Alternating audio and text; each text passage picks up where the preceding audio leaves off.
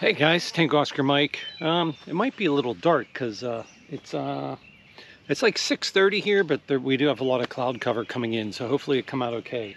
I'm going to show you what I have going on here. Um, I haven't set up the Buddipole yet. I'm going to set that up again, but I have a ground spike with a um, basically a CB clamp adapter, uh, three quarter inch mount with a 20 meter um, ham stick. And as you can see, I'm using the aluminum screen from Home Depot and I had it off to the side, but I was worried that without the ground plane directly underneath it, so I literally just punched a hole through the center with a spike. Um, so, and there's an alligator clamp on there as well, uh, and it's clamped there. Right now I'm getting one uh, 0.8 to 1. So I'm going to have to do some adjustments. Uh, I'm sure I'm going to have to adjust the whip a little bit. But uh, so I'm going to get the Buddipole set up, the Buddistick. I keep saying Buddipole, the Buddipole buddy stick. Um, like I said, it's a great kit. And using the end fed really wasn't a fair comparison. I know that, you know that. Um, but I did want to see the difference. So this is probably a, a more fair comparison. This is probably more like a Wolf River coil type setup. So I'm going to set them up and just do some signal comparisons and see what I get and uh, we'll go from there. So it's been uh, a long day. I worked worked out this morning and then I worked uh, my normal shift and then I cut the grass. Uh, I actually cut some of the grass the other day before it started raining and I uh, finished it tonight. And then I planted the garden tonight, which uh, took longer than I, I thought it would. Uh, me and my wife grilled out as well. Um, so here's what I got. The ham stick is set up. The best I can get on the ham stick is 1.7. Um, I, I, tried a couple of different things, but that is the best tune I can get on it with that as the ground plane. Um, I don't know. I don't know what uh, would help it or what uh, wouldn't. Um, I know it's tuned better than that before with radials, um, but I haven't used the ground plane directly underneath it before. I did get it tuned lower when I just had the ground plane before um, up near the driveway but I think that affects it. And there are trees right above it. Maybe that has something. Maybe that's affecting it a little bit. But um, it's 1.7. The Buddistick. Now I got to tell you, I took the tap off because I put it all away because I thought I was done with testing. I was like, eh, I'm not going to do any more testing. And then I thought, why better? So I put the, the Buddistick up. I counted the taps down 13 like you're supposed to. I think that's what it was, 13. And I ran the counterpoise out to where it's supposed to be and I got a 1.3, like first try. Honestly, first try. So uh, I'm pretty impressed with that. The reactance on that is minus two ohms, which is good. On the ham stick, the reactance is minus 17. So, um, but I think we're good enough to listen to some signals, so let's uh, go ahead and do that. And let's just see if we can hear anybody. So, And if I feel like it, I'll make a, a call out. Augie's running around. He's having a, a ball. He already had dinner, which is good. So that's on the Buddipole. He's five, five eight, five nine. And on the ham stick, oh no, sorry, I had that reversed. My apologies. On the Buddipole, five eight. And on the ham stick, he's five nine. Even though it's not tuned as well, that's that's what I'm getting. So let's find another signal.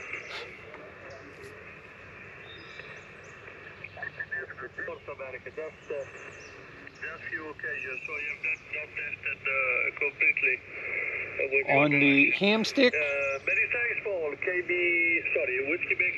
five eight.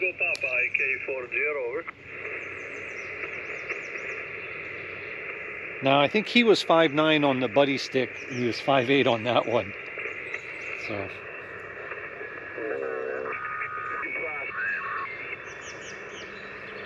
You hear uh, 5859. Beautiful copy. Beautiful copy. Uh, good audio as well. Luis. Oh, thank you for that name, my friend. Your signal 590. now this is on the Buddistick. I am located 50 kilometers south uh, from the capital city, okay, in a place called Punta Hermosa. Punta Hermosa, beautiful point. He's bouncing from 5'3 to 5'5. USL Punta Hermosa. Okay, got it, got it. Also, uh, correct your signal. and- 5'9. 5'9. You jumped up. And the guy talking to him is 5'3. Okay, Luis, we, we know you've got a bee's hornet going here. Uh, a lot of And people calling, so I will he's louder on the 33, ham and stick. Thanks for taking the call, and uh, have a very good evening. Oscar Alpha 4, Delta Alpha Golf, November 5 Sierra Bravo Romeo. Gracias, gracias por contacto. November, November 5 Sierra Bravo Romeo, Oscar Alpha 4 Delta Alpha. Golf. Yeah, Uh, Thank definitely. you very much, my friend. If you have time, please confirm it. VIQRZ.com. He is definitely louder on the ham stick. That station anyhow. So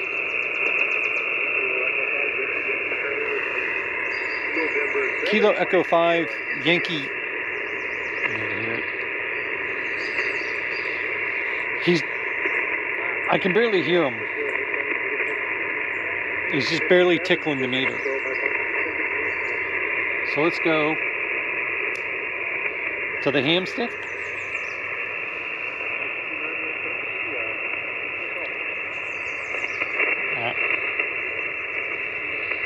I can't hear him on the ham stick.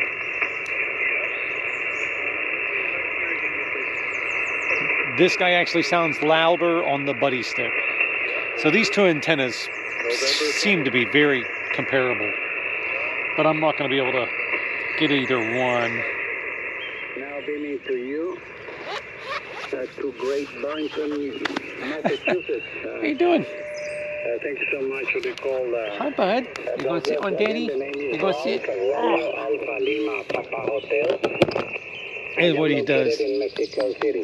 You sitting on me? Douglas Kilo Charlie 2 Mike Juliet Echo. You having fun? Romeo Kilo. You're to slide off.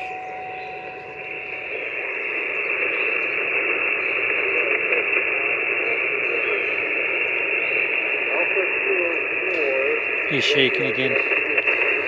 It's okay, bud. Uh,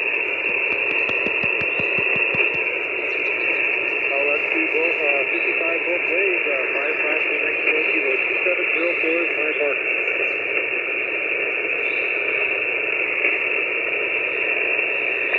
Thanks for the call. This is Kilo Echo 5 Yankee, Yankee, Charlie Whiskey. November 3, Whiskey Sierra. Is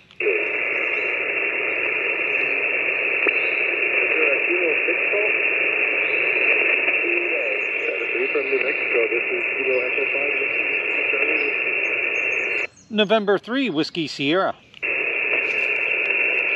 November 3, Whiskey Papa Alpha, good afternoon. Uh, 50, excuse me, 57, New Mexico. My park is uh, 2704.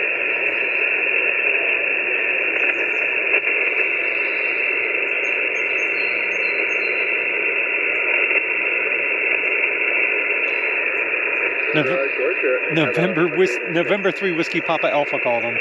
I thought it was me, man. Thanks for the land of Lincoln, and uh, appreciate the call. I, tur- I turned on the preamp. Kilo Echo 5, Yankee, Yankee, Charlie, listening for Parks on the Air. November 3, Whiskey Sierra. Uh, Alpha Kilo call. So I turn on the preamp. You can hear him a little better. Alpha Kilo 4.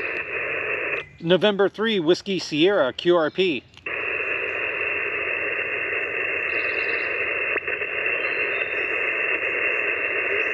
Quebec, Lima, Charlie. Good afternoon. From New Mexico, you're 55 New Mexico. So, so these two antennas are more comparable. Um, believe it or not, since I've had this antenna, I have not made a contact on it. or actually, I think in the last video, I think I did make one contact on the Buddistick. Um, I think I'm not positive, but I know I made made them on my end fed, uh, and I have very little doubt that if I went and put my end fed up in a tree, that I'd be able to make contact with that guy. Um, whether that's true or not, I don't know, but I feel confident that it would work. Usually, when I can hear somebody, I can you can usually work them for the most part. And I know I've I've gotten New Mexico before. Um, I might even have gotten that station before. So, yeah. So I'm, the Buddistick is out for me. Uh, I think any vertical is out for me. Um, maybe this with a bunch of radials, and I can try that later. Is maybe, um, but I I've had this ham stick for a while, and I know I've tried a bunch of radials on it, and I just never was happy with it. I always went back to my Buddistick uh, or a dipole, and I think it's just too much of a comp. Uh, you know, for QRP, these antennas, I think they're great. If I had a uh, a hundred watt rig you know, I, I, I'm sure I'd have a lot better chances of getting that station. Um, I could definitely hear them, so that's not a problem. So I'm sure um, it would really up my odds. But I am a QRP um, enthusiast, let's say that. Uh, I only do QRP. Now, uh, field day, obviously, I do 100 watts with everybody else at my club, but um, I do enjoy QRP. We did QRP for winter field day uh, you know, I think we are only allowed to run five or five watts uh, for winter field day.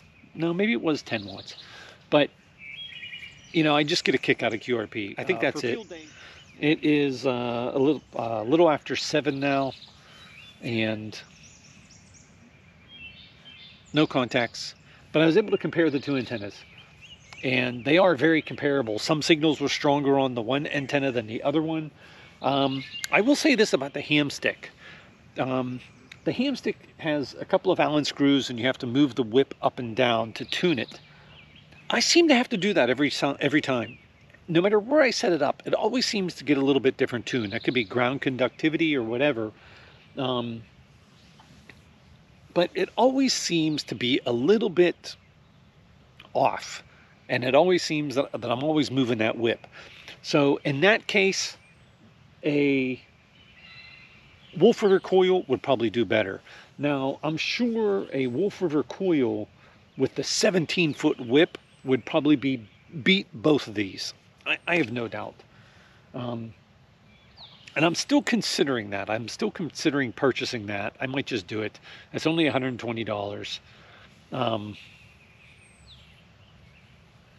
I think that might be a good option because these these aren't you know they're they're compromised.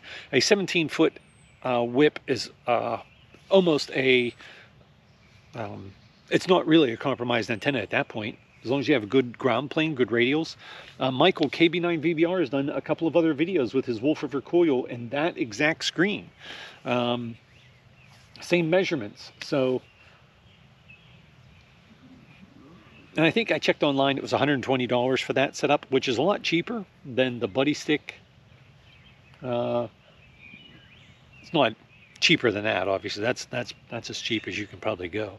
Um, but it has the tripod. That doesn't have a tripod. I'm using a ground spike. Um, obviously, that wouldn't work in a parking lot. I have to retune the hamstick, like I said, all the time, depending where I am, which is a pain in the butt because it's an Allen key. Uh, where I think the Wolf River coil, uh, just shortening or lengthening the whip would be better. But so now uh, I'm going to clean all this up. Uh, I'll show you the uh, show you the Buddistick there.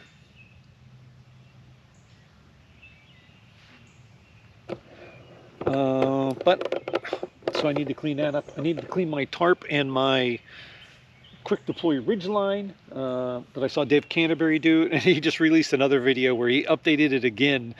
And I may I may do that with mine too. Um, that works with the, this tarp uh, and it also works with um, my poncho. I can do that with my poncho too, and it's nice to be able to do that fairly quickly. So I'm, i may uh, I may set that ridge line up. Now my ridge line I made extra long um, because I could never seem to find two trees that are exactly the right distance apart.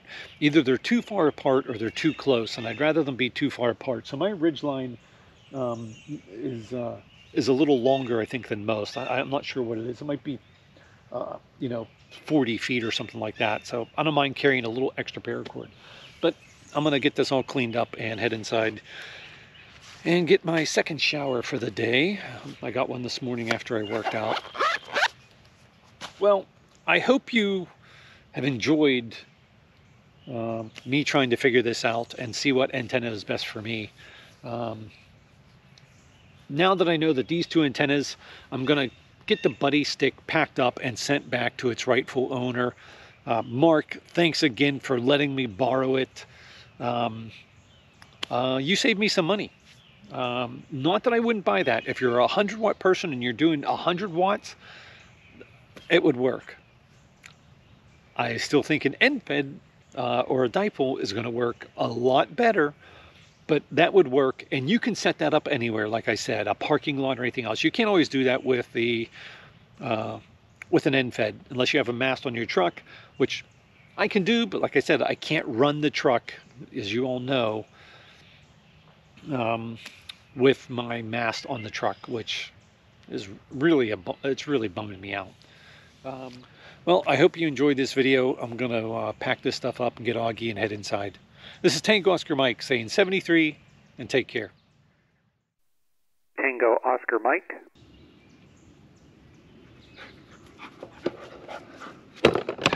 what, what are you doing? You ready for Daddy to clean up? Hmm? You ready to clean up? Ready to clean up?